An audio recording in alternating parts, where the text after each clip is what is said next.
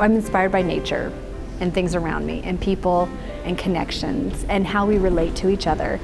And I'm also very interested in um, basic human needs and our connections. The elements of order and chaos are interesting to me and how we live.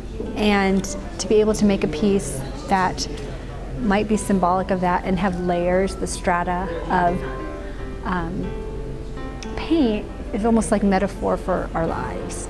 And I feel like this is, you know, there are layers and depth of experience, and that's exactly what you have.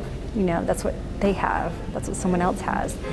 And through all of that, you make a picture. So out of that chaos and all these different things that happen, all these experiences, it comes together to make a life or a picture.